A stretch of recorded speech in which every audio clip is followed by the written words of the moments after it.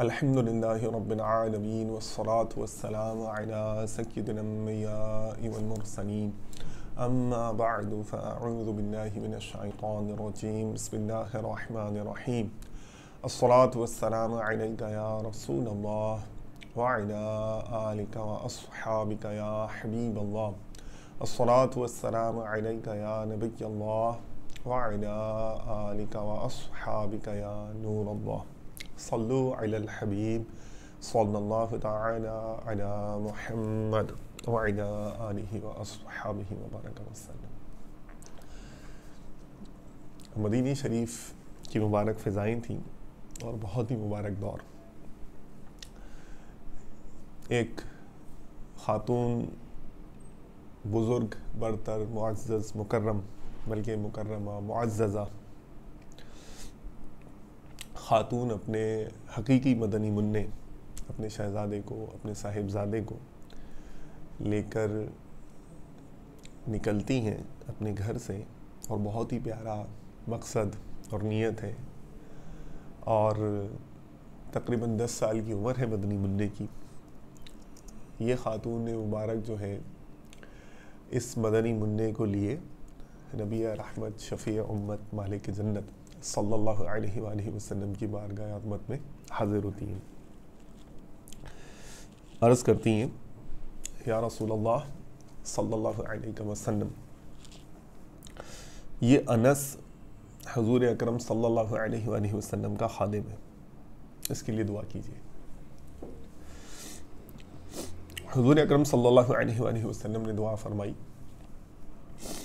اللہم اکثر مالہو وولدہو وادخلہ وادخلہ الجنہ یعنی اللہ تعالیٰ مفہوم اس کا کہ اس کے مال میں برکت دے، کثرت دے اس کے اولاد میں برکت دے اور اسے داخل جنت فرمائے۔ وہ فرماتے ہیں یعنی حضرت انس فرماتے ہیں، جن جس خوش نصیب مدنی منع کے حق میں یہ زبان حق ترجمان سے دعائے مبارک نکلی، وہ خود مدنی منع جو ہیں جو پیارے آقا صلی اللہ علیہ وآلہ وسلم کے صحابی ہیں، جلیل القدر ہستی ہیں، بزرگ و برتر ہیں، یہ فرماتے ہیں کہ حضور اکرم صلی اللہ علیہ وآلہ وسلم کا دعا کا اثر کثرت مال و اولاد میں تو دیکھ ہی لیا ہے۔ مجھے امید ہے کہ تیسری دعا یعنی دخول جنت کی جنت میں داخل ہونے کی، یہ بھی پوری ہوگی۔ اور پھر کتنا اثر انہوں نے دیکھا، یہ بھی اس کی وضاحت فرماتے ہیں، خود ہی بتاتے ہیں۔ فرمایا کہ میرے مال میں زیادتی اس حد تک ہوئی کہ میرا انگوروں کا باغ سال میں دو مرتبہ پھل دیتا تھا۔ سال میں انگور میں ایک دفعہ پھل آتا ہے، ان کے باغ میں دو دفعہ آتا تھا۔ ان کی عمر سو سال سے متجاوز ہوئی، سو سال سے زیادہ عمر نصیب ہوئی۔ اور ان کے سلب سے یعنی ان کی پیٹ سے ایک سو چھ بچے پیدا ہوئے۔ اللہ نے اتنی اولاد دی تھی، ماشاءاللہ، جس میں، جن میں ستر لڑکے یعنی ستر بیٹے تھے ان کے، ستر بیٹے تھے۔ اور باقی لڑکیاں تھیں۔ اور ایک اور دعا میں یہ بھی ہے، ایک اور روایت میں یہ بھی ہے کہ دین و دنیا کی بھلائی کے لیے دعا کی درخواست کی تھی ان کی والدہ نے۔ تو ظاہر یہ بھی عنایت ہوا۔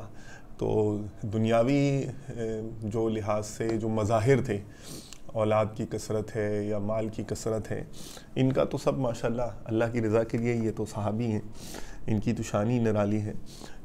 ہم جیسے کو سمجھنے کے لیے عرض کر رہا ہوں، اور بالخاص الخاص جو دینی متعلقات ہیں، دینی عنوانات ہیں، اس کے تحت ذرا ان کی برکتیں اور رحمتیں جو ان پر نازل ہوئیں، وہ سماعت فرمائیے۔ دو ہزار دو سو چھیاسی حدیثیں ان سے روایت کی گئی ہیں۔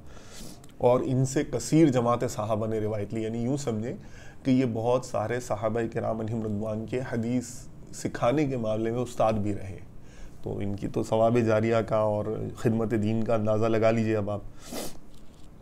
پھر لکھا ہے کہ ان کے لڑکے پوتے پڑ پوتے وغیرہ سے خلق کثیر نے روایات لی یعنی کہ یوں سمجھ لیے کہ ان کے جو بیٹے تھے، ان کے جو پوتے تھے، پھر جو پڑ پوتے تھے، یہ بھی الحمدللہ خدمت حدیث میں، روایات میں منتقل کرنے میں، حدیث شریف کو امت تک پہنچانے میں خدمت دین میں مشغول رہے۔